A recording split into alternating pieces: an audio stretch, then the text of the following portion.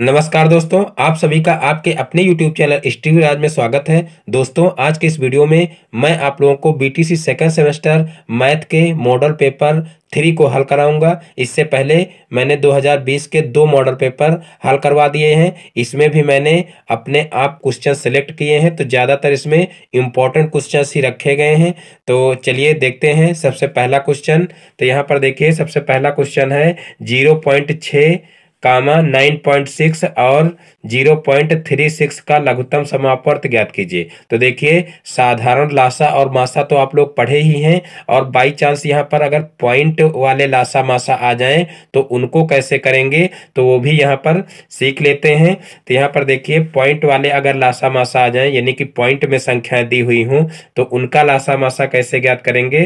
तो देखिए, इसमें हम करते क्या है कि सबसे पहले दशमलव के बाद अंकों के संख्या को समान कर लेते हैं। यानी कि यहाँ पर देखिए, जैसे ज़ीरो पॉइंट सिक्स लिखा है, यहाँ पर नाइन पॉइंट सिक्स लिखा और यहाँ पर ज़ीरो पॉइंट थ्री सिक्स लिखा है। तो यहाँ पर क्या करते हैं कि दशमलव के बाद अंकों के जो संख्या है वो समान कर लेते हैं, यानी कि यहाँ पर दो है, यहाँ पर एक है और यहाँ पर भी एक है तो हर जगह पर दो संख्या कर लेते हैं। तो यहाँ पर देखिए, लिख लेंगे सबसे पहले zero point six comma nine point six comma, कितना है ज़ीरो पॉइंट थ्री सिक्स में दशमलव दशमलव के बाद अंकों की संख्या,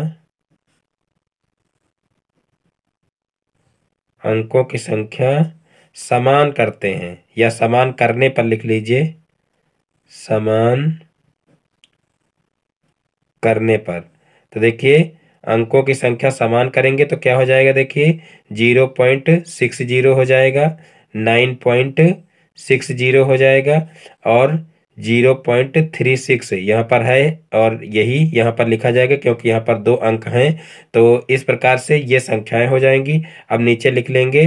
अब सभी में, अब सभी में दशमलव हटाने पर, अब सभी संख्याओं में लिख लीजिए सभी संख्याओं में दशमलव हटाने पर।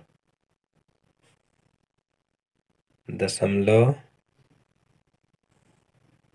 हटाने पर। तो देखिए दशमलव हटाएँगे तो यहाँ पर देखिए क्या हो जाएगा? साठ हो जाएगा। यहाँ पर देखिए क्या हो जाएगा? नौ सौ साठ हो जाएगा और यहाँ पर हो जाएगा छत्तीस। अब इन सभी का हम क्या करेंगे? लाशा ज्ञात कर लेंगे। तो देखिए, इनका लासा हम भाग विधि से ज्ञात करेंगे। साठ है, नौ सौ साठ है और छत्तीस है। तो देखिए, सबसे पहले दो से कटेगा तो दो से काटेंगे, यहाँ पर तीस हो जाएगा। और फिर यहाँ पर दो चौको आठ और दो अट्ठे सोलह और ज़ीरो हो जाएगा यहाँ पर। और फिर यहाँ पर अट्ठारह दुन्ना छत्तीस हो जाएगा। फिर इसको दो से काटेंगे तो यहाँ पर पंद्रह दुन्ना तीस हो जाएगा। और यहाँ पर दो दुन्ना चार और दो चौको आठ, यहाँ पर ज़ीरो हो जाएगा। और फिर यहाँ पर देखिए दो नौ अट्ठारह हो जाएगा और फिर इसको जो है काटेंगे तीन से। चाहे तो अभी इसको दो से और काट सकते हैं, लेकिन हम यहाँ पर डायरेक्ट अब तीन से काटेंगे। तीनों पच्ची पंद्रह हो जाएगा और तीन अवठ चौबीस हो जाएगा और यहाँ पर ज़ीरो है तो ज़ीरो लगा देंगे। अब यहाँ पर तीन त्रिक का नौ हो जाएगा। अब यहाँ पर देखिए फिर जो है तीन से काटेंगे या चाहे तो पाँच से भी काट सकते हैं। तो यहाँ पर हम पाँच से काट लेते हैं। तो पाँच एक कम पाँच और फिर यहाँ पर देखिए पाँच एक कम पाँच और पाँच छक्का तीस और यहाँ पर तीन बच जाएगा। अब यहाँ पर देखिए इन संख्याओं को गुड़े के रूप में लिख लेंगे। तो यहाँ पर देखिए लाशा क्या हो जाएगा? लाशा बराबर देखिए पहली संख्या दो गुड़े दो, फिर यहाँ पर तीन गुड़े पाँच और फिर सोलह गुड़े कितना हो जाएगा? तीन हो जाएगा। अब इन सभी का गुणा कर लेंगे। तो देखिए, इन सभी का गुणा कितना होगा? दो दुना चार चार तीन बारह बारह पंचे साठ, और साठ तिहाई कितना होगा? तो छत्रिक अट्ठारह, यानी कि एक सौ अस्सी हो जाएगा, और एक सौ अस्सी का सोलह से गुणा करेंगे। तो देखिए, कितना हो जाएगा? यहाँ पर एक सौ अस्सी का सोलह से गुणा कर लेते हैं। तो यहाँ पर देखिए छः शून्य शून्य हो जाएगा, और आठ छंग अड़तालीस का आठ हो जाएगा। और फिर यहाँ पर छः कम छः और छः चार दस हो जाएगा। फिर यहाँ पर ज़ीरो और यहाँ पर आठ और यहाँ पर एक, यहाँ पर चाहें तो जो है सोलह का डायरेक्ट टेबल पढ़ के भी इसको कर सकते हैं। तो यहाँ पर ज़ीरो, आठ आठ और यहाँ पर दो, यानी कि यहाँ पर कितना हो जाएगा? देखिए, दो हज़ार आठ सौ अस्सी, दो हज़ार आठ सौ अस्सी यहाँ पर हो जाएगा। तो इस प्रकार से 2880 ही इसका लाशा हो जाएगा। लेकिन देखिए, यहाँ पर इन संख्याओं का लासा 2880 निकला है, लेकिन हमको निकालना था पॉइंट वाली संख्याओं का। तो देखिए, पॉइंट वाली जो संख्याएँ हैं, इसमें देखिए दो दो अंकों के बाद दशमलव लगा है। तो यहाँ पर देखिए, अभीष्ट लाशा क्या हो जाएगा? यहाँ पर लिख लेंगे, अभीष्ट लाशा बराबर तो देखिए, यहाँ पर दो दो अंकों के बाद दशमलव लगा था तो यहाँ पर जो लास्ट में लाशा आया है, इसमें दो अंकों के बाद दशमलव लगा देंगे इधर से तो अट्ठाईस पॉइंट आठ ज़ीरो हो जाएगा और यही जो है हमारा आंसर हो जाएगा। फिर देखते हैं नेक्स्ट क्वेश्चन तो देखिए नेक्स्ट क्वेश्चन है, चार बटे पाँच, कामा छः बटे पच्चीस तथा आठ बटे पंद्रह का लाशा तथा मासा ज्ञात कीजिए। चार बटे पाँच, कामा छः बटे पच्चीस तथा आठ बटे पंद्रह का लासा तथा मासा ज्ञात कीजिए। यानी कि इनका लासा और मासा दोनों ज्ञात करना है। तो देखिए, ऐसे साधारण अंकों का तो लासा मासा बहुत ही आसानी से ज्ञात कर लिया जाता है, लेकिन यहाँ पर अगर जो है भिन्नों का लासा और मासा ज्ञात करने के लिए आ जाए तो हम क्या करेंगे? तो यहाँ पर देखिए, इनके लिए एक फार्मूला होता है। तो देखिए, वो फार्मूला सबसे पहले हम जान लेते हैं, जैसे भिन्नों का लासा निकालना हो तो यहाँ पर देखिए, हम दोनों फार्मूले आप लोगों को बताए दे रहे हैं। जैसे, देखिए, यहाँ पर लासा सबसे पहले निकालना है तो भिन्नों का लासा बराबर फार्मूला क्या होता है? भिन्नों का लासा बराबर, भिन्नों का लाशा बराबर, यहाँ पर लिख लेंगे, अंशों का लाशा अंशों का लाशा बटे हारों का मासा, बटे हारों का मासा। देखिए इसको कैसे याद रखेंगे। यहाँ पर देखिए भिन्नों का अगर लाशा पूछा जाए तो देखिए अंश जो होते हैं, यानी कि ऊपर अंश होते हैं तो देखिए अंश का लाशा और बटे हर का मासा हो जाएगा। और जब यहाँ पर देखिए मासा पूछा जाए तो यहाँ पर अंश में मासा रहेगा। और हर में लासा रहेगा। यानी कि जो यहाँ पर पूछा जाए, वही यहाँ पर ऊपर रहेगा। ये याद रखना तो ये दोनों फार्मूले हमेशा याद रहेंगे। यानी कि भिन्नों का लासा पूछा जाए तो यहाँ पर लिखेंगे अंशों का लासा बटे हरों का मासा। और जब यहाँ पर पूछा जाए भिन्नों का मासा बराबर तो अंशों का मासा बटे हरों का लासा। ये दोनों फार्मूले याद रखना। तो जो है, यहाँ पर अगर भिन्न के लासा मासा करने के लिए आ जाए तो बहुत ही आसानी से आप कर सकते हैं। तो यहाँ पर देखिए, हमको जो है इन संख्याओं के जो है लासा और मासा ज्ञात करना है।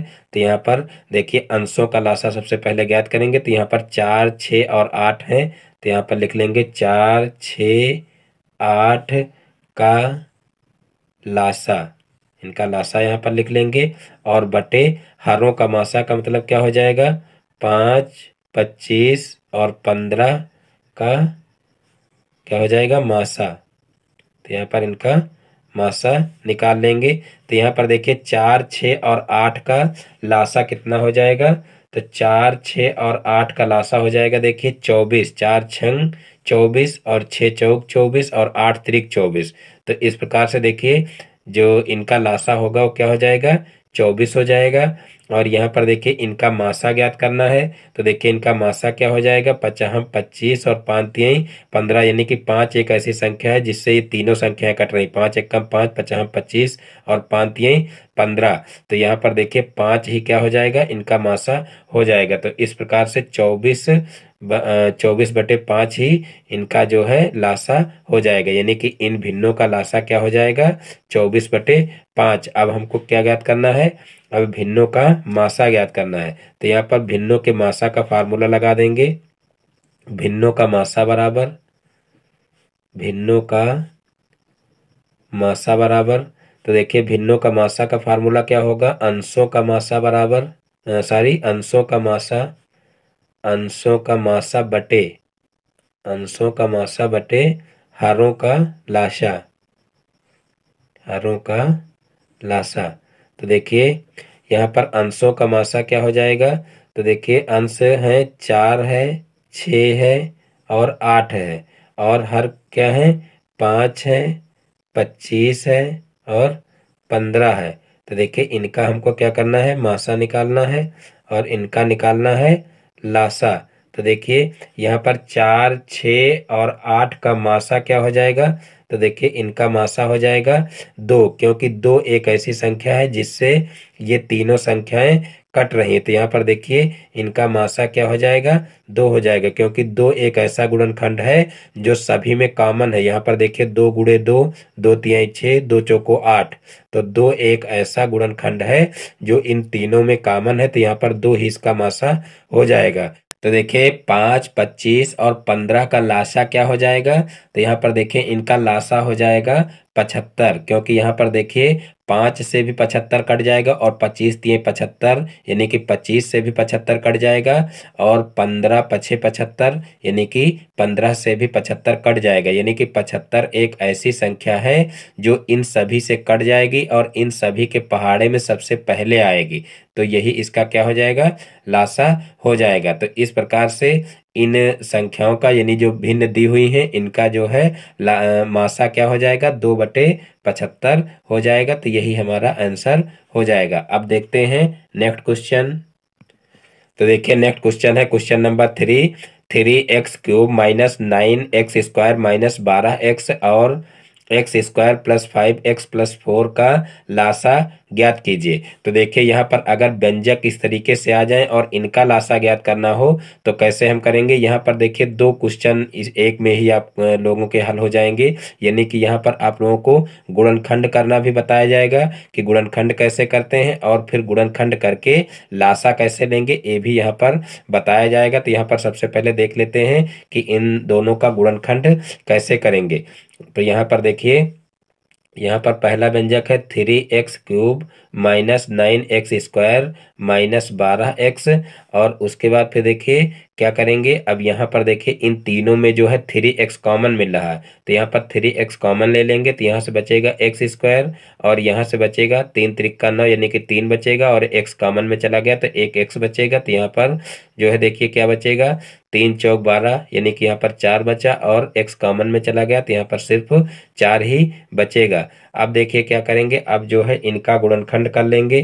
तो यहाँ पर देखिए थ्री एक्स बाहर रहेगा और उसके बाद फिर देखिए यहाँ पर चार के गुणनखंड करेंगे। तो देखिए दो कामा दो होगा, लेकिन उससे कुछ हल नहीं होगा, यानी कि इसके गुणनखंड से ही हमको तीन लाना है। तो हम क्या करेंगे, चार में से अगर एक को घटा दें, क्योंकि चार और एक भी चार ही का गुणनखंड है तो यहाँ पर चार में से एक को घटा दें तो तीन आ जाएगा। तो यहाँ पर x square minus three sorry, यहाँ पर एक्स स्क्वायर माइनस यहाँ पर कर लेंगे बाहर और उसके बाद ब्रैकेट के अंदर कर लेंगे चार माइनस एक, यानी कि चार में से एक को घटाने पर तीन आएगा तो चार माइनस एक कर लेंगे और बाहर जो है गुड़े के रूप में एक्स लिख लेंगे। फिर माइनस का चार हो जाएगा और यहाँ पर मंझला ब्रैकेट लगा लेंगे। अब यहाँ पर देखिए, थ्री एक्स हो जाएगा और फिर यहाँ पर इसका अंदर गुड़ा कर लेंगे तो यहाँ पर हो जाएगा एक्स स्क्वायर फिर इस माइनस का अंदर गुड़ा कर लेंगे और इधर एक्स का भी अंदर गुड़ा कर लेंगे तो यहाँ पर फोर एक्स हो जाएगा और यहाँ पर माइनस माइनस प्लस हो जाएगा और एक्स का गुड़ा होगा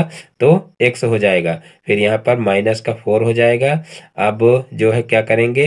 अब थ्री एक्स को इधर ही रखेंगे, यानी कि ब्रैकेट के बाहर ही रखेंगे और जो है यहाँ पर देखेंगे दो दो के जोड़े बना लेंगे और दो दो के जोड़े बना करके दोनों में कॉमन ले लेंगे। तो यहाँ पर देखिए, इन दोनों में कॉमन क्या मिल रहा है? तो यहाँ पर देखिए एक्स कॉमन मिल रहा है तो यहाँ से बच जाएगा एक्स माइनस फोर और फिर यहाँ पर देखिए, कुछ नहीं कॉमन मिल रहा है, जब कॉमन कुछ ना हो तो कॉमन एक लेते हैं तो यहाँ पर एक कॉमन हो जाएगा तो यहाँ से x माइनस फोर बच जाएगा। अब यहाँ मंजिला ब्रेकर लगा लेंगे। अब यहाँ पर देखिए थ्री एक्स है, और यहाँ से देखिए इन दोनों में अब x माइनस फोर कॉमन मिल रहा है तो x माइनस फोर लिख लेंगे, फिर यहाँ से x बच रहा है, और यहाँ पर जो है प्लस का वन बच रहा है तो x प्लस वन हो जाएगा।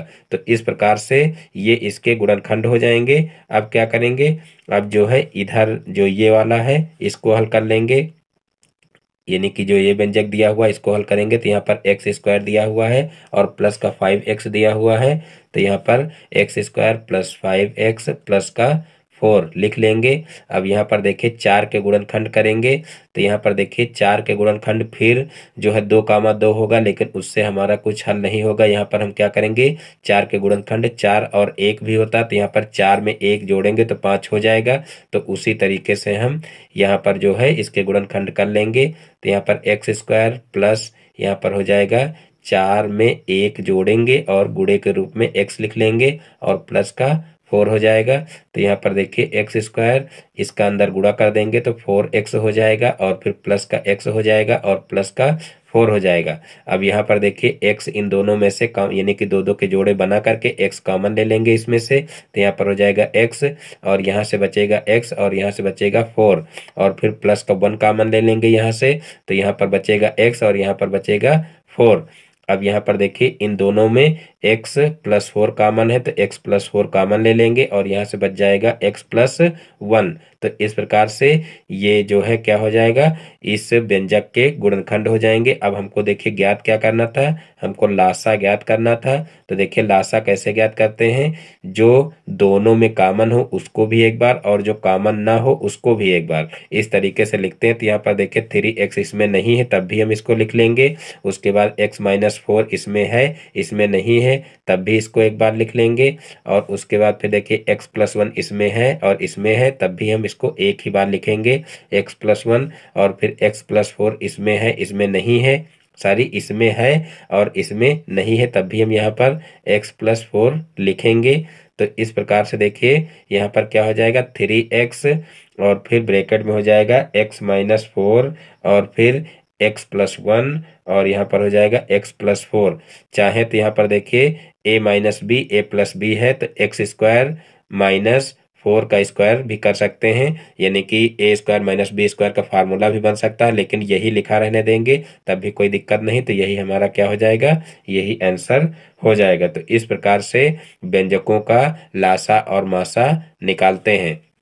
अब देखते हैं नेक्स्ट क्वेश्चन तो देखिए नेक्स्ट क्वेश्चन है माइनस दो बटे सात का योज प्रतिलोम बताइए।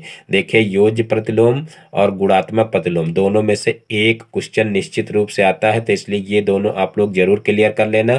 काफ़ी बताने के बाद भी बहुत सारे स्टूडेंट इन क्वेश्चन को गलत कराते हैं तो आप लोग गलत ना करना। देखिए, यहाँ पर योज प्रतिलोम की बात की गई है, देखिए, योगात्मक प्रतिलोम और योज प्रतिलोम, दोनों एक ही चीज़ है, आप लोग कंफ्यूज ना होना। देखिए जब आपको लिखा मिले गुणात्मक प्रतिलोम और या लिखा मिले सिर्फ़ प्रतिलोम तब आपको क्या करना है? संख्याओं को पलट देना है। चिन्ह जो लगा है, चिन्ह में आपको हाथ नहीं लगाना है। यानी कि जो चिन्ह लगा है, उसको वैसे ही लगा रहने दीजिए। सिर्फ़ संख्याओं को पलट दीजिए। जो अंश है, उसको हर बना दीजिए और जो हर है, उसको अंश बना दीजिए। मान लीजिए कोई संख्या केवल जैसे लिखी हुई है, पाँच या चार लिखी हुई है, कहने का मतलब जो है परिमेय संख्या के रूप में नहीं है, भिन्न के रूप में नहीं है तो संख्याओं को कैसे पलटेंगे? मान लीजिए पाँच लिखा है तो उसको एक बटे पाँच लिख देंगे। और अगर एक बटे पाँच लिखा तो उसको सीधे सीधे पाँच लिख देंगे। तो ये आप लोग समझ लीजिए कि गुणात्मक प्रतिलोम में संख्याओं को पलटना है। सिर्फ़ प्रतिलोम लिखा हो तब भी उसका वही मतलब होता है। आपको संख्याओं को पलट देना है। लेकिन जब आपको लिखा मिले योज प्रतिलोम या योगात्मक प्रतिलोम, तब आपको क्या करना है? तब आपको सिर्फ़ चिन्ह परिवर्तन करना है। योज प्रतिलोम और योगात्मक प्रतिलोम, दोनों का मतलब एक होता है और दोनों में जो है, क्या करते हैं कि सिर्फ़ चिन्ह परिवर्तन कर देते हैं, बाकी संख्याओं में कुछ नहीं करते तो यहाँ पर देखिए, जैसे माइनस का दो बटे सात का योज प्रतिलोम बताइए तो इसका योज प्रतिलोम क्या हो जाएगा? दो बटे सात हो जाएगा और यही हमारा आंसर हो जाएगा। तो इस प्रकार से जो है, इसको आसानी से किया जा सकता है। चाहे योज प्रतिलोम आए और चाहे योगात्मक प्रतिलोम आए, चाहे गुणात्मक प्रतिलोम आए और चाहे प्रतिलोम आए। गुणात्मक प्रतिलोम और प्रतिलोम एक होता है, योज प्रतिलोम और योगात्मक प्रतिलोम एक होता है। ये आप लोग लोग अच्छे से समझ लीजिए। फिर यहाँ पर देखिए नेक्स्ट क्वेश्चन है। क्या सभी अभाज्य संख्याएँ विषम संख्याएँ होती हैं? क्या सभी अभाज्य संख्याएँ विषम संख्याएँ होती हैं? बहुत ही इंपॉर्टेंट क्वेश्चन है। ये भी एक नंबर में क्वेश्चन पूछा जा सकता है। और देखिए, ये वेरी शार्ट क्वेश्चन है। तो देखिए, ये वेरी शार्ट में भी आ सकते हैं और बहुविकल्पीय में भी इसको पूछा जा सकता है। तो देखिए, क्या है यहाँ पर कि क्या सभी अभाज्य संख्याएँ विषम संख्याएँ होती हैं? तो देखिए, नहीं, सभी अभाज्य संख्याएँ जो होती हैं वो विषम नहीं होती हैं, क्योंकि दो एक ऐसी अभाज्य संख्या है जो सम होती है। दो एक ऐसी अभाज्य संख्या है जो सम होती है, वो विषम नहीं होती है और जो है आती किसके अंतर्गत है? अभाज्य संख्या के अंतर्गत आती है, क्योंकि वो एक और स्वयं के अलावा अन्य किसी संख्या से नहीं करती है। इसलिए यहाँ पर क्या कह सकते हैं कि सभी अभाज्य संख्याएँ विषम संख्याएँ नहीं होती हैं। दो एक ऐसी संख्या होती है जो अभाज्य तो होती है, लेकिन वो विषम नहीं होती है, वो क्या होती है? सम होती है। तो ये यहाँ पर हम लिख सकते हैं कि नहीं नहीं, सभी अभाज्य संख्याएँ अभाज्य संख्याएँ, विषम संख्याएँ नहीं होती हैं। विषम संख्याएँ नहीं होती हैं। दो एक ऐसी संख्या है। दो एक ऐसी संख्या है। ऐसी संख्या है जो सम है, जो सम है और अभाज्य भी। दो एक ऐसी संख्या है जो सम है और अभाज्य भी है और अभाज्य भी है। तो इस प्रकार से इस क्वेश्चन को भी कर सकते हैं। अब देखते हैं नेक्स्ट क्वेश्चन। तो देखिए, नेक्स्ट क्वेश्चन है, चौबीस और तीस के बीच अभाज्य संख्याएँ ज्ञात कीजिए। चौबीस और तीस के बीच अभाज्य संख्याएँ ज्ञात कीजिए। तो देखिए, चौबीस और तीस के बीच में अभाज्य संख्याएँ हमको ज्ञात करनी है। तो अभाज्य संख्याओं का मतलब होता है जो एक से संख्या कटे और स्वयं से कटे। इसके अलावा अन्य किसी संख्या से न कटे। तो देखिए, चौबीस और तीस के बीच अभाज्य संख्याएँ कौन सी होंगी? तो देखिए, चौबीस के बाद पच्चीस आता है। तो पच्चीस क्या है? देखिए जो है विषम संख्या तो है, लेकिन वो अभाज्य संख्या नहीं है, क्योंकि वो पाँच से कट जाती है। और फिर देखिए पच्चीस के बाद छब्बीस, वो तो सम संख्या है। फिर देखिए, जो है छब्बीस के बाद सत्ताईस तो सत्ताईस भी देखिए विषम संख्या तो है, लेकिन अभाज्य वो भी नहीं होगी क्योंकि तीन से कट जाती है। फिर अट्ठाईस अट्ठाईस सम संख्या, इसका मतलब वो क्या होगी? वो अभाज्य संख्या नहीं होगी। फिर देखिए, उनतीस उनतीस संख्या ऐसी है जो किसी भी संख्या से नहीं कटती है, या तो स्वयं से कटती है, या तो एक से कटती है, इसलिए वही क्या हो जाएगी? अभाज्य संख्या हो जाएगी। तो यहाँ पर चौबीस और तीस के बीच की अभाज्य संख्या क्या हो जाएगी? उनतीस हो जाएगी, यानी कि सिर्फ़ एक संख्या होगी, उनतीस, और यही इसका आंसर हो जाएगा। अब देखते हैं नेक्स्ट क्वेश्चन। तो देखिए, नेक्स्ट क्वेश्चन है, एक बटे छ और एक बटे तीन के मध्य दो परमेय संख्याएँ ज्ञात कीजिए। बहुत ही इंपॉर्टेंट क्वेश्चन है, और इस टाइप का क्वेश्चन पूछा भी जा सकता है। तो देखिए, इस टाइप का क्वेश्चन हो सकता है कि आप लोग अभी तक ना पढ़े हों, क्योंकि इस टाइप का क्वेश्चन आप लोगों को अभी हम नहीं बताए हैं, अन्य किसी चैनल पर भले ही आप लोग पढ़े हों तो देखिए, कोई भी भिन्न परमेय संख्याएँ दी हुई हों और उनके बीच की परमेय संख्या हमको निकालनी हो तो आप सभी ने ये ज़रूर पढ़ा होगा कि दो भिन्न परमेय संख्याओं के बीच में अनंत जो है परमेय संख्याएँ होती हैं, लेकिन अनंत परमेय संख्याएँ कैसे होती हैं तो वो यहाँ पर हमको सीखना है, यानी कि उनके बीच की कुछ परमेय संख्या यहाँ पर हम आप लोगों को निकाल करके बताएँगे। यहाँ पर दो परमेय संख्याएँ पूछी गई हैं तो यहाँ पर हम दो परमेय संख्या बीच की निकालेंगे और उसी तरीके से आप जितनी चाहो उतनी बीच की परमेय संख्याएँ निकाल सकते हो। तो यहाँ पर देखिए, बीच की परमेय संख्या कैसे निकालते हैं?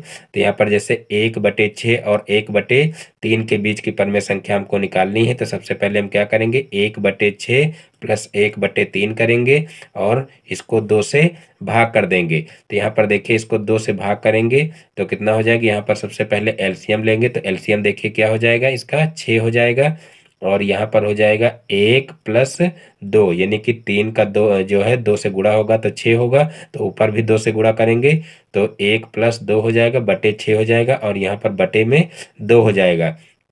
अब यहाँ पर देखिए, ये जो यहाँ पर देखिए यहाँ पर दो के बटे में एक कर लेंगे तो इसका गुड़ा ऊपर होगा और इसका गुड़ा देखिए छः के साथ में होगा।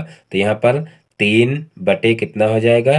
छः गुड़े दो हो जाएगा तो यहाँ पर तीन बटे छः दुन्नी बारह हो जाएगा, और तीन से जो है बारह को सरल कर लेंगे तो यहाँ पर देखिए तीन चौक बारह हो जाएगा, यानी कि एक बटे चार हमारा आ जाएगा। तो इस प्रकार से देखिए, एक बटे छ के बीच में जो है कौन सी संख्या हो जाएगी? एक बटे चार हो जाएगी। यहाँ पर एक बटे छः और एक बटे चार और यहाँ पर एक बटे तीन। इस प्रकार से जो है लिख सकते हैं, यानी कि ये समझ लीजिए कि आरोही क्रम लिखा हुआ है। अब हम चाहें तो इनके बीच की संख्याओं को निकाल सकते हैं, यानी कि अब देखिए इसके इसके बीच की संख्या निकाल सकते हैं इसी तरीके से और इसके इसके बीच की संख्या इसी तरीके से निकाल सकते हैं। तो यहाँ पर देखिए, सबसे पहले हम क्या करेंगे, इसके और इसके बीच की संख्या निकालेंगे देखिए, अब जो भी बीच की संख्या निकालेंगे, वो सभी संख्या इनके और इनके बीच की ही निकलेंगी। देखिए, यहाँ पर अगर इसके बीच की संख्या निकालेंगे, तब भी इन्हीं दोनों संख्याओं के बीच की संख्या होगी।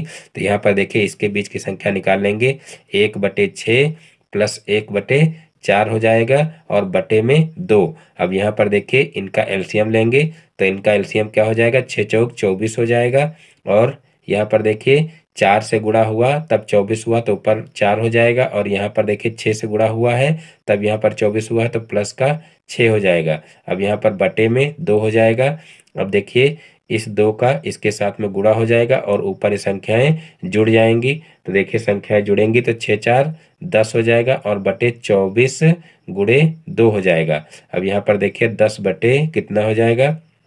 यहाँ पर चाहें तो सरल कर लें। दो पंचे दस हो जाएगा तो यहाँ पर पाँच बटे, देखिए, पाँच बटे चौबीस हमारा जो है, क्या आ जाएगा? इन दोनों संख्याओं के बीच की संख्या आ जाएगी। तो इस प्रकार से यहाँ पर देखिए क्या हो जाएगा? एक बटे छः, इस प्रकार से देखिए, एक बटे छः और फिर एक बटे चार और फिर जो है क्या हो जाएगी? एक बटे चार नहीं होगा, यहाँ पर बीच की संख्या निकाले हैं तो ये होगी पाँच बटे पाँच बटे चौबीस और फिर एक बटे चार और फिर एक बटे तीन। तो इस प्रकार से देखिए, इन दोनों के बीच की दो परमेय संख्याएँ आ जाएँगी। तो इस प्रकार से चाहे जितनी परमेय संख्या निकालनी हो, हम आराम से निकाल सकते हैं, कोई प्रॉब्लम नहीं होनी चाहिए। तो इस प्रकार से यही हमारा आंसर आ जाएगा। तो देखिए हम नेक्स्ट क्वेश्चन देखते हैं। क्वेश्चन नंबर एट यहाँ पर देखिए पाँच सौ पाँच गुड़े चार सौ पंचानबे का मान सर्वसमिका की सहायता से ज्ञात कीजिए। तो देखिए इस क्वेश्चन को कैसे करेंगे? पाँच सौ पाँच गुड़े चार सौ पंचानबे का मान सर्वसमिका की सहायता से ज्ञात कीजिए। तो यहाँ पर देखिए क्या करेंगे? सबसे पहले जो है पाँच सौ पाँच को पाँच सौ प्लस पाँच में तोड़ लेंगे। और देखिए, यहाँ पर चार सौ पंचानबे को क्या करेंगे? यहाँ पर पाँच सौ माइनस पाँच में इसको तोड़ लेंगे। तो यहाँ पर देखिए, यहाँ पर a प्लस बी और a माइनस बी का फार्मूला बन रहा है। यहाँ पर देखिए, इसको a मान लीजिए और इसको b मान लीजिए। यहाँ पर भी इसको a और इसको b मान लीजिए। तो यहाँ पर एक फार्मूला बन रहा है, a plus b a minus b तो यहाँ पर a प्लस बी और a माइनस बी का फार्मूला क्या होता है? तो देखिए, इसका फार्मूला होता है a square minus b square यानी कि a square minus b square का फार्मूला, यानी कि लॉन्ग रूप में क्या होता है a plus b a minus b तो यहाँ पर इसको देखिए a square minus b square के रूप में लिख सकते हैं। तो यहाँ पर ए स्क्वायर का मतलब क्या हो जाएगा, पाँच सौ का स्क्वायर और माइनस यहाँ पर देखिए क्या हो जाएगा बी स्क्वायर बी स्क्वायर का मतलब क्या हो जाएगा, पाँच का स्क्वायर देखिए, जब सर्व समीका का प्रयोग करके कहा जाए तो हम क्या करते हैं? सर्व समीका का प्रयोग करके ही क्वेश्चन को करते हैं। यहाँ पर अगर आप इसका गुड़ा इसका जो है डायरेक्ट कर देंगे, यानी कि इसका गुड़ा डायरेक्ट इससे कर देते देते हैं, तब भी आपका आंसर सही आएगा। लेकिन जो है, आपको करना क्या है? आपको सर्व समीका का प्रयोग करके इस क्वेश्चन को करना है। आपको डायरेक्ट इसका गुड़ा नहीं करना। तो इस रूप में इसको लिख करके सबसे पहले, उसके बाद a square minus b square का फार्मूला बनाएँगे। तो यहाँ पर a square minus b square करेंगे। अब यहाँ पर देखिए, पाँच का स्क्वायर कर देंगे तो पचास पच्चीस हो जाएगा, दो ज़ीरो है तो यहाँ पर दो बार गुड़ा करेंगे तो चार ज़ीरो हो जाएँगे और फिर माइनस यहाँ पर पाँच का स्क्वायर क्या हो जाएगा, पचास पच्चीस हो जाएगा। अब यहाँ पर पचास पच्चीस हो गया है, अब क्या करेंगे, इस पच्चीस को इसमें से घटा देंगे तो यहाँ दस दस में से पाँच गया तो पाँच बचा, यहाँ पर नौ नौ में से दो गया तो सात बचा, अब यहाँ पर नौ बच जाएगा, यहाँ पर भी नौ बच जाएगा और यहाँ पर चौबीस बच जाएगा। तो इस प्रकार से देखिए जो है चौबीस निन्यानवे पचहत्तर हमारा आंसर आ जाएगा। तो इस टाइप से जो है ये क्वेश्चन आसानी से किए जा सकते हैं। अब देखते हैं नेक्स्ट क्वेश्चन। समीकरण एक्स बटे तीन माइनस पाँच बटे दो बराबर छः को हल कीजिए। बहुत ही आसान क्वेश्चन है। इस समीकरण को क्या करना है? हल करना है। और हल करने का मतलब हमको क्या करना है? एक्स की वैल्यू निकालना है। तो यहाँ पर देखिए, सबसे पहले हम इस समीकरण को नीचे उतार लेते हैं। और उतारने के बाद यहाँ पर देखिए एक्स वाला पद एक तरफ़ रखते हैं और बाकी इसको इधर पच्छांतर कर देते हैं। तो यहाँ पर देखिए माइनस में है, इधर जाएगा, प्लस में हो जाएगा और फिर देखिए यहाँ पर क्या करेंगे? यहाँ पर एलसीएम ले लेंगे। तो एलसीएम देखिए दो हो जाएगा और इस छः का दो से गुड़ा हो जाएगा। तो छः दुना बारह और प्लस पाँच हो जाएगा और बटे में दो हो जाएगा। अब यहाँ पर एक्स बटे तीन हो जाएगा और यहाँ बारह में पाँच जोड़ेंगे तो सत्रह हो जाएगा, सत्रह बटे दो हो जाएगा। अब यहाँ पर तिरक गुड़ा कर लेंगे और तिरक गुड़ा करेंगे तो देखिए क्या हो जाएगा, टू एक्स बराबर, देखिए क्या हो जाएगा, सत्रह त्रिया सत्रह तिया इक्यावन। तो यहाँ पर देखिए सत्रह तिया इक्यावन हो जाएगा और उसके बाद फिर देखिए यहाँ पर जो ये दो है ये दो गुड़े में है, इधर जाएगा तो बटे में हो जाएगा तो यहाँ पर इक्यावन बटे दो हो जाएगा, यानी कि एक्स की वैल्यू क्या आ जाएगी? इक्यावन बटे दो ही आ जाएगी और यही हमारा आंसर हो जाएगा। फिर देखते हैं नेक्स्ट क्वेश्चन तो देखिए नेक्स्ट क्वेश्चन है, आयत की लंबाई व चौड़ाई क्रमशः 10 सेंटीमीटर व 8 सेंटीमीटर है। आयत का क्षेत्रफल तथा विकर्ण की लंबाई ज्ञात कीजिए। आयत की लंबाई व चौड़ाई क्रमशः 10 सेंटीमीटर व 8 सेंटीमीटर है। आयत का क्षेत्रफल तथा विकर्ण की लंबाई ज्ञात कीजिए। तो देखिए, इसको कैसे करेंगे? तो यहाँ पर देखिए, लंबाई और चौड़ाई आयत की दी हुई है। तो सबसे पहले हम क्या करेंगे? आयत का क्षेत्रफल निकाल लेंगे। तो यहाँ पर देखिए, लिखेंगे सबसे पहले आयत का क्षेत्रफल बराबर। आयत का क्षेत्रफल बराबर, फार्मूला क्या होता है? लंबाई गुड़े चौड़ाई। तो यहाँ पर देखिए लंबाई गुड़े चौड़ाई फार्मूला लगा देंगे तो यहाँ पर लंबाई कितनी दी हुई है? दस दी हुई है और चौड़ाई दी हुई है आठ। और इनका गुड़ा कर लेंगे तो दस अट्ठे अस्सी हो जाएगा। सेंटीमीटर में दिया है, यहाँ पर क्षेत्रफल है तो वर्ग सेंटीमीटर में हो जाएगा। और उसके बाद फिर देखिए क्या दिया हुआ है कि आयत का क्षेत्रफल तथा विकर्ण की लंबाई ज्ञात कीजिए। यानी कि क्षेत्रफल और विकर्ण की लंबाई दोनों ज्ञात करना तो क्षेत्रफल हम ज्ञात कर चुके हैं। अब यहाँ पर आयत का विकर्ण ज्ञात कर लेंगे तो देखिए, आयत का विकर्ण बराबर आयत का विकर्ण बराबर तो देखिए आयत का विकर्ण का फार्मूला क्या होता है? अंडर रूड लंबाई का स्क्वायर प्लस चौड़ाई का स्क्वायर लंबाई का स्क्वायर प्लस चौड़ाई का स्क्वायर तो यहाँ पर देखिए लंबाई दी हुई है दस तो यहाँ पर दस का स्क्वायर कर लेंगे, और प्लस चौड़ाई दी हुई है आठ तो यहाँ पर आठ का स्क्वायर कर लेंगे तो यहाँ पर अंडर रूट के अंदर दस दामा सौ हो जाएगा, और प्लस आठ अठाई चौंसठ हो जाएगा, और यहाँ पर फिर इनका योग करेंगे तो देखिए कितना हो जाएगा। रूट के अंदर एक चौंसठ हो जाएगा। और देखिए एक सौ चौंसठ का वर्गमूल तो निकलेगा नहीं। तो यहाँ पर हम क्या करेंगे कि एक सौ चौंसठ को जो है चार गुड़े इकतालीस के रूप में तोड़ लेंगे। यहाँ पर देखिए चार गुड़े इकतालीस के रूप में तोड़ लेंगे, क्योंकि इकतालीस का सॉरी यहाँ पर देखिए चार का वर्गमूल निकल सकता है तो यहाँ पर चार गुड़े इकतालीस कर लेंगे। तो देखिए चार एक कम चार और चार चौक सोलह, यानी कि इनका दोनों का गुड़ा एक सौ चौंसठ के बराबर ही होगा। तो इस रूप में इसको लिख करके फिर देखिए चार का वर्गमूल क्या होता है? दो होता है तो इसको बाहर निकाल लेंगे और रूट के अंदर इकतालीस बच जाएगा। तो इस प्रकार से यही इसका आंसर हो जाएगा। तो यहाँ पर देखिए आयत का क्षेत्रफल निकालना था तो क्षेत्रफल निकाला है और यहाँ पर देखिए आयत का विकर्ण निकालना था तो इस प्रकार से आयत का विकर्ण निकाल लेंगे। यहाँ पर देखिए, ये आयत के क्षेत्रफल का फार्मूला था और ये आयत के विकर्ण का फार्मूला था। देखिए, जो विकर्ण वाले क्वेश्चन होते हैं, वो ज़्यादा पूछे जाते हैं, इसलिए आप लोग विकर्ण वाला फार्मूला एकदम से क्लियर कर लेना, क्योंकि आपको सीधे से इस टाइप का क्वेश्चन नहीं दिया जाएगा कि आयत की लंबाई चौड़ाई दी हुई हो और उसका क्षेत्रफल निकालना हो या उसका परिमाप निकालना हो। उसमें ज़्यादातर जो है विकर्ण निकालने के लिए ज़रूर दिया जाता है तो आप लोग विकर्ण वाला फार्मूला ज़रूर याद रखना। और देखिए, इसी से जो है आयत से ही जो है क्या बनता है? घनाभ बनता है। तो इसी से जो है घनाभ के भी फार्मूले बने हैं। यानी कि देखिए, आयत में क्या होता है? सिर्फ़ लंबाई और चौड़ाई दी हुई होती है और घनाभ में क्या होता है? उसकी ऊंचाई भी दी हुई होती है। तो यहाँ पर देखिए, जैसे आयत का है तो क्षेत्रफल निकालते हैं और घनाभ का क्या निकालते हैं? आयतन निकालते हैं। तो यहाँ पर देखिए, आयत के क्षेत्रफल का फार्मूला क्या है? लंबाई गुड़े चौड़ाई है।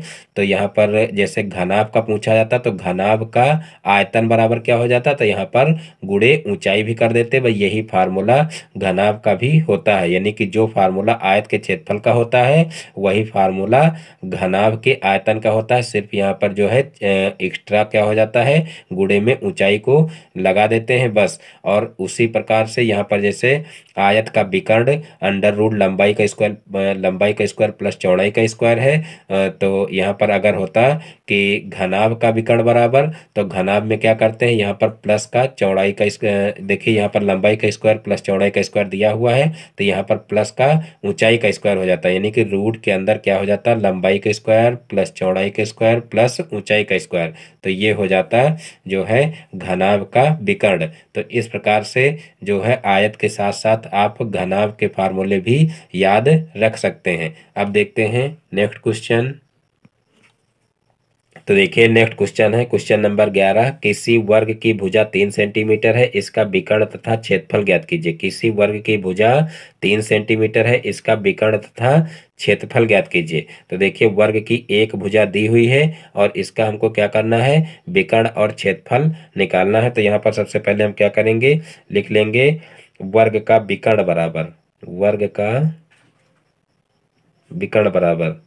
तो देखिए, इसका विकर्ण पूछा गया है तो इसके विकर्ण का फार्मूला क्या होता है? भुजा अंडर रूड दो। भुजा अंडर रूट दो तो देखिए, भुजा कितनी दी हुई है? तीन दी हुई है। तो यहाँ पर भुजा की जगह पर तीन लिख लेंगे तो तीन अंडर रूट दो, इसका विकर्ण हो जाएगा। और उसके बाद फिर देखिए, जो है, क्षेत्रफल भी पूछा गया तो यहाँ पर वर्ग का क्षेत्रफल बराबर फार्मूला क्या होता है? वर्ग का क्षेत्रफल बराबर। तो देखिए, वर्ग के क्षेत्रफल का फार्मूला होता है भुजा स्क्वायर। भुजा स्क्वायर तो यहाँ पर भुजा देखिए, तीन दी हुई है तो तीन का स्क्वायर कर देंगे तो तीन त्रिक नौ हो जाएगा। और देखिए सेंटीमीटर में दिया हुआ है तो यहाँ पर लिख देंगे वर्ग सेंटीमीटर और यही हमारा आंसर हो जाएगा। तो इस प्रकार से इस टाइप के क्वेश्चन किए जा सकते हैं। अभी देखिए, आयत से आप लोगों के घनाभ के फार्मूले बताए थे। अब यहाँ पर देखिए, वर्ग से घन बनता है। यानी कि वर्ग में अगर ऊंचाई भी दी हुई हो, जैसे इसमें वर्ग में क्या होता है? लंबाई और चौड़ाई दी हुई होती है। यानी कि लंबाई, चौड़ाई सब बराबर होती है, तभी उसको वर्ग कहा जाता है। लेकिन जब उसकी ऊंचाई भी हो, यानी कि एक डिब्बे जैसा हो, तब उसको क्या कहेंगे? घन कहेंगे। और यहाँ पर देखिए, जब घन का विकर्ण कहा जाए तो यहाँ पर जैसे भुजा अंडर रूट तीन दिया हुआ है, यानी कि इसमें सिर्फ़ लंबाई और चौड़ाई होती है तो यहाँ पर देखिए क्या हो जाएगा, भुजा अंडर रूट दो हो जाएगा, और जब घन का विकर्ण कहा जाए तो यहाँ पर भुजा अंडर रूट तीन हो जाएगा। तो इस प्रकार से आप घन का विकर्ण का फार्मूला याद रख सकते हैं, और जैसे वर्ग का क्षेत्रफल भुजा अंडर रूट दो दिया हुआ है तो जैसे घन का आयतन निकालना हो, यानी कि यहाँ पर क्षेत्रफल दिया हुआ है, और जब घन होगा तो घन का आयतन दिया होगा तो यहाँ पर घन के आयतन का फार्मूला क्या हो जाएगा? भुजा क्यूब, यानी कि यहाँ पर जैसे भुजा स्क्वायर है, क्षेत्रफल में भुजा स्क्वायर है तो घन के आयतन में क्या हो जाएगा? भुजा क्यूब हो जाएगा। तो इस प्रकार से घन के भी फार्मूले याद रखे जा सकते हैं। अब देखते हैं नेक्स्ट क्वेश्चन। तो देखिए नेक्स्ट क्वेश्चन है किसी समांतर चतुर्भुज की दो संलग्न भुजाएँ 6 सेंटीमीटर और 10 सेंटीमीटर हैं तथा उसका विकर्ण 8 सेंटीमीटर है। समांतर चतुर्भुज का क्षेत्रफल ज्ञात कीजिए किसी समांतर चतुर्भुज की दो संलग्न भुजाएँ 6 सेंटीमीटर और 10 सेंटीमीटर हैं तथा उसका विकर्ण आठ सेंटीमीटर है। तो समांतर चतुर्भुज का क्षेत्रफल ज्ञात कीजिए, यानी कि समांतर चतुर्भुज कुछ इस टाइप का बना होगा, मान लीजिए। ऐसे बना लेंगे इसको। ये मान लीजिए समांतर चतुर्भुज है और इसमें क्या कहा गया है कि समांतर चतुर्भुज की दो संलग्न भुजाएँ, संलग्न का मतलब क्या है? एक दूसरे से जुड़ी हुई भुजाएँ छः सेंटीमीटर और दस सेंटीमीटर हैं। तो मान लीजिए ये भुजा छः सेंटीमीटर है और ये भुजा दस सेंटीमीटर है। और कहा गया है कि उसका विकर्ण आठ सेंटीमीटर है। तो यहाँ पर मान लीजिए ये विकर्ण इसका दिया हुआ है आठ सेंटीमीटर। तो इसको आठ सेंटीमीटर लिख लेंगे तो समांतर चतुर्भुज का क्षेत्रफल ज्ञात करना है। तो देखिए समांतर चतुर्भुज यानी कि इस पूरे चतुर्भुज का हमको क्या करना है? क्षेत्रफल निकालना है। तो देखिए इसका क्षेत्रफल कैसे ज्ञात करेंगे? तो देखिए, सबसे पहले तो हम क्या करेंगे कि इन भुजाओं के नाम रख लेंगे। तो यहाँ पर देखिए, ये मान लीजिए ए भुजा हो जाएगी, ये बी हो जाएगी, ये सी हो जाएगी और ये डी हो जाएगी। और अब यहाँ पर इनकी नाप हम लिख लेंगे। तो देखिए, ए बी बराबर कितनी दी हुई है? छः सेंटीमीटर दी हुई है। ए बी बराबर छः सेंटीमीटर। फिर देखिए, बी सी बराबर कितनी दी हुई है? तो यहाँ पर देखिए, जैसे दस ये है तो ये भी दस हो जाएगी। ये छः है तो ये भी छः हो जाएगी। तो यहाँ पर बी सी कितनी हो जाएगी?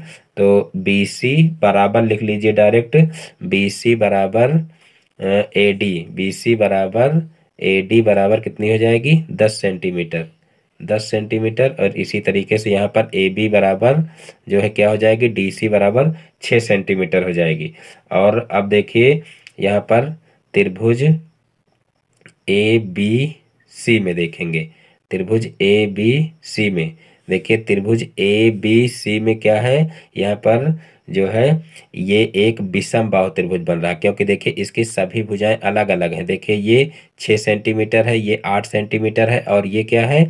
ये देखिए दस सेंटीमीटर है।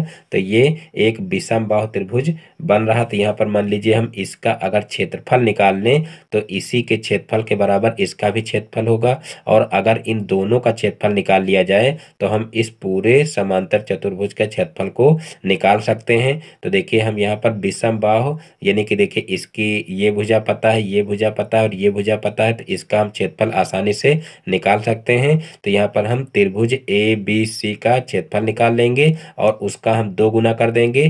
तब इस पूरे चतुर्भुज का जो है क्षेत्रफल निकल आएगा। तो यहाँ पर त्रिभुज ए, बी, सी में, त्रिभुज ए, बी, सी में देखिए जो है एस बराबर क्या हो जाएगा? एस बराबर एस का मतलब क्या होता है? अर्ध परिमाप होता है। तो एस बराबर क्या हो जाएगा? सिक्स, यानी कि ये भुजा हो जाएगी six plus eight plus ten. बटे दो, यानी कि ये हो जाएगा इसका परिमाप और परिमाप बटे दो हो जाएगा अर्ध परिमाप। तो यहाँ पर देखिए आठ छः चौदह और चौदह, दस, चौबीस हो जाएगा और चौबीस का दो से भाग करेंगे तो कितना हो जाएगा? बारह हो जाएगा। तो इसका अर्ध परिमाप बारह निकल आएगा और यहाँ पर लिख लेंगे चूँकि त्रिभुज ए, बी, सी बराबर, ए, बी, सी बराबर क्या होता है?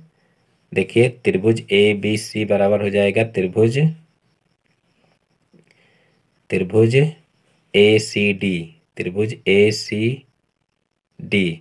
इसलिए हम लिख सकते हैं, इसलिए हम लिख सकते हैं, लिख सकते हैं चतुर्भुज चतुर्भुज चतुर्भुज A B C D. A B C D का क्षेत्रफल बराबर, का क्षेत्रफल बराबर, टू इंटू त्रिभुज, टू इंटू त्रिभुज ए बी सी का क्षेत्रफल। देखिए, पुनः एक बार देख लेते हैं चूँकि यहाँ पर त्रिभुज ए बी सी बराबर, त्रिभुज ए सी डी यानी कि इसके बराबर ये त्रिभुज है तो यहाँ पर हम लिख सकते हैं कि चतुर्भुज ए बी सी डी का क्षेत्रफल क्या होगा? अगर जो है त्रिभुज ए बी सी का क्षेत्रफल निकाल करके और उसका दो गुना कर दें, यानी कि दो गुणे त्रिभुज ए बी सी का क्षेत्रफल अगर कर दें तो इस पूरे जो है समांतर चतुर्भुज का क्षेत्रफल निकल आएगा। तो वही काम यहाँ पर हमको करना है। तो देखिए, चतुर्भुज यहाँ पर लिख लेंगे पुनः एक बार कि चतुर्भुज यहाँ पर देखिए त्रिभुज नहीं, चतुर्भुज लिख लीजिए, चतुर्भुज ए बी सी डी का क्षेत्रफल बराबर, का क्षेत्रफल बराबर टू इंटू त्रिभुज ए बी सी का क्षेत्रफल। तो देखिए यहाँ पर टू इंटू त्रिभुज ए बी सी का क्षेत्रफल क्या हो जाएगा? तो यहाँ पर देखिए जो है विषम बाहु त्रिभुज के क्षेत्रफल का फार्मूला लगा देंगे। तो यहाँ पर इसका फार्मूला क्या होता है? S s minus a s minus b s minus c s minus c तो यहाँ पर ये यह फार्मूला लगा देंगे। तो यहाँ पर टू इंटू तो देखिए एस क्या है? एस यहाँ पर देखिए, निकाल चुके हैं ऊपर बारह है। तो यहाँ पर बारह लिख देंगे। फिर बारह माइनस ए मान लीजिए छः हो जाएगा।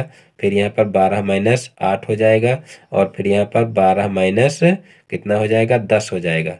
तो इस प्रकार से सभी भुजाओं को लिख देंगे और उसके बाद फिर देखिए इन सभी को घटा लेंगे तो यहाँ पर दो गुड़े हो जाएगा। देखिए अंडर रूट के अंदर बारह और यहाँ पर गुड़े, यहाँ पर देखिए बारह में छः जाएगा तो कितना हो जाएगा? छः हो जाएगा, फिर यहाँ पर गुड़े, यहाँ पर बारह में आठ जाएगा तो चार बचेगा, और फिर गुड़े, यहाँ पर बारह में दस जाएगा तो दो बचेगा। अब इन सभी का गुड़ा करेंगे तो देखिए इन सभी का गुड़ा करेंगे तो कितना हो जाएगा? यहाँ पर देखिए चार दुना आठ और आठ छंग अड़तालीस, और अड़तालीस का बारह से गुड़ा करेंगे तो देखिए कितना हो जाएगा? यहाँ पर अड़तालीस का, बारह से गुड़ा करेंगे यहाँ पर। बारह अट्ठी छियानबे छियानबे का छः हो जाएगा। और फिर बार चौक अड़तालीस और अड़तालीस और नौ। अड़तालीस और नौ कितना हो जाएगा? एक सौ। देखिए, अड़तालीस और नौ कितना हो जाएगा? छप्पन हो जाएगा। अड़तालीस और नौ, सत्तावन हो जाएगा, सारी। तो यहाँ पर सत्तावन लिख देंगे, यानी कि पाँच सौ छिहत्तर हो जाएगा। अब पाँच सौ छिहत्तर का वर्गमूल कितना होगा, ये हम निकाल लेते हैं। तो देखिए, पाँच सौ छिहत्तर का वर्गमूल क्या आ जाएगा? तो देखिए पाँच सौ छिहत्तर का वर्गमूल आ जाएगा चौबीस, यानी कि चौबीस का स्क्वायर आप करके देख सकते हैं, यहाँ पर पाँच सौ छिहत्तर ही आएगा। तो देखिए, पाँच सौ छिहत्तर का वर्गमूल चौबीस हो जाएगा और चौबीस का दो से गुणा करेंगे तो चौबीस दुना अड़तालीस हो जाएगा। तो इस प्रकार से जो है समांतर चतुर्भुज ए, बी, सी, डी का क्षेत्रफल क्या हो जाएगा? चौबीस वर्ग सेंटीमीटर हो जाएगा। तो इस प्रकार से इस टाइप के क्वेश्चन किए जा सकते हैं। देखिए, इस टाइप का क्वेश्चन भी एक पूछा जाता है तो इस टाइप से आप इसको आसानी से लगा सकते हैं। यानी कि सबसे पहले हम क्या करेंगे, यहाँ पर इस तरीके से समांतर चतुर्भुज बना लेंगे और फिर बीच में विकर्ण दिया रहेगा। फिर यहाँ पर देखिए, दो विषम बाहु त्रिभुज बराबर के आपके बनेंगे। एक विषम बाहु त्रिभुज का क्षेत्रफल निकाल लेंगे और उसका दो से गुणा कर देंगे तो इस प्रकार से पूरा जो समांतर चतुर्भुज है, उसका जो क्षेत्रफल है वो निकल आएगा। अब देखते हैं नेक्स्ट क्वेश्चन। तो देखिए, नेक्स्ट क्वेश्चन है, यदि समबाहु त्रिभुज में कोई भुजा 10 सेंटीमीटर हो तो त्रिभुज का क्षेत्रफल ज्ञात कीजिए। समबाहु त्रिभुज में, यदि समबाहु त्रिभुज में कोई भुजा दस सेंटीमीटर हो तो त्रिभुज का क्षेत्रफल ज्ञात कीजिए। तो देखिए, इस क्वेश्चन को कैसे करेंगे? तो देखिए, यहाँ पर हम सर्वप्रथम जो है, क्या करेंगे कि समबाहु त्रिभुज के क्षेत्रफल का फार्मूला लगा देंगे डायरेक्ट। समबाहु समबाहु त्रिभुज का क्षेत्रफल बराबर। तो देखिए, समबाहु त्रिभुज का क्षेत्रफल का फार्मूला क्या होता है? Under root three by four into भुजा स्क्वायर इंटू भुजा स्क्वायर तो यहाँ पर under root three by four हो जाएगा और भुजा देखिए कितनी दी हुई है? दस दी हुई है। तो यहाँ पर दस का स्क्वायर हो जाएगा, यानी कि दस गुड़े दस हो जाएगा। अब देखिए क्या करेंगे? दस दहमा सौ हो जाएगा, यानी कि यहाँ पर हम क्या करेंगे? दो से इसको काट देंगे, दो दुन्ना चार और दो पंचे दस। और फिर दो से इसको काट देंगे तो दो पंचे दस हो जाएगा। फिर पाँच का पाँच से गुड़ा होगा तो पचाहम पच्चीस हो जाएगा, यानी कि पच्चीस अंडर रूट तीन यहाँ पर आ जाएगा। अब देखिए, यहाँ पर अंडर रूट तीन का मान दिया हुआ है तो यहाँ पर क्या करेंगे? पच्चीस गुड़े अंडर रूट तीन का मान रख लेंगे। तो देखिए अंडर रूट तीन का मान होता है one point seven three two अब यहाँ पर पच्चीस का इसमें क्या करेंगे?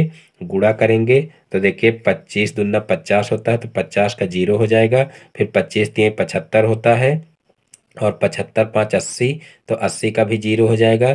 फिर पच्चीस सते कितना हो जाएगा? एक सौ पचहत्तर हो जाएगा। और एक सौ पचहत्तर और आठ तो देखिए एक सौ पचहत्तर और आठ कितना हो जाएगा? तो यहाँ पर देखिए हो जाएगा आठ पाँच तेरह और जो है यहाँ पर हो जाएगा आठ पाँच तेरह और यहाँ पर हो जाएगा एक सौ पचासी। तो एक सौ पचासी का देखिए, पाँच हो जाएगा तो यहाँ से अट्ठारह बच जाएगा। अब पच्चीस एक कम, पच्चीस हो जाएगा और पच्चीस में अट्ठारह जोड़ेंगे तो देखिए कितना हो जाएगा। आठ पाँच तेरह तेरह का तीन और यहाँ पर तीन, एक, चार, यानी कि तैंतालीस हो जाएगा तो यहाँ पर तैंतालीस लिख लेंगे। अब देखिए, तीन अंकों के बाद दशमलव था तो हम क्या करेंगे कि तीन अंकों के बाद दशमलव लगा देंगे। तो यहाँ पर देखिए, इस जगह पर दशमलव लग जाएगा। तो यहाँ पर देखिए, मान हमारा कितना आ जाएगा? देखिए, यहाँ पर थोड़ा सा मिस्टेक हो गई है। यहाँ पर आठ पाँच तेरह होगा। तो यहाँ पर तेरह का तीन जो है, लिखना चाहिए। यहाँ पर तेरह का तीन हो जाएगा। तो यहाँ पर देखिए, यहाँ पर भी इसको संशोधित कर लीजिए। देखिए, यहाँ पर जो है, तीन हो जाएगा। तो इस प्रकार से यहाँ पर क्या हो जाएगा? तैतालीस पॉइंट तीन हमारा आंसर आ जाएगा। तो इस प्रकार से जो है इस क्वेश्चन को आसानी से किया जा सकता है। तो इस प्रकार से आज के सारे क्वेश्चन समाप्त होते हैं। मैं उम्मीद करता हूँ कि वीडियो आप लोगों को पसंद आया होगा। दोस्तों, यदि हमारा वीडियो पसंद आया हो तो वीडियो को लाइक करें और इस चैनल पर नए हैं तो चैनल को सब्सक्राइब करें और बेल आइकन को भी प्रेस कर लें, जिससे हमारे आगे आने वाले वीडियो का नोटिफिकेशन आपके मोबाइल पर सबसे पहले पहुँचे। फिर मिलते हैं अपने नेक्स्ट वीडियो में एक नए टॉपिक के साथ में। तब तक के लिए जय हिंद, वंदे मातरम।